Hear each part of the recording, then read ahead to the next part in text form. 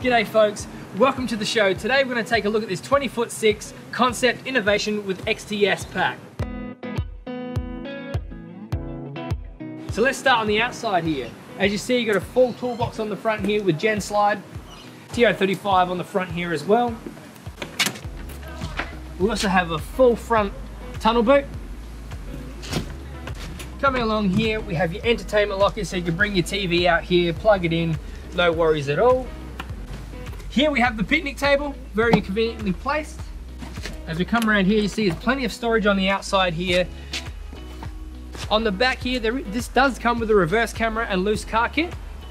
So here we are under the van, folks, and as you can see, we've got independent suspension. Also has two freshwater tanks and a grey water tank. As you can see here, there is an external shower. Your two batteries are conveniently placed down here as well.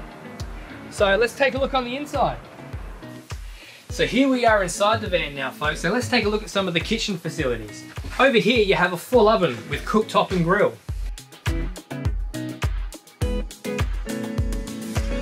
Moving over to the sink, as you can see, you've got a large side sink with, with the draining on the one side and of course the uh, sink fill on the other and a filter tap, which is always handy to have to keep that water nice and clean while you're traveling. As standard with every caravan nowadays is a microwave, and of course your three-way fridge. Now over here we have a club lounge dining table. Plenty of room for more than just two people around the club lounge. Very comfortable, lovely club lounge.